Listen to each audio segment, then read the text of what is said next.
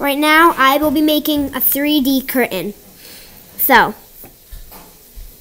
you start there, and then you go down, you do a squiggly up, squiggly up, you change direction, squiggly up, squiggly up, then you end up.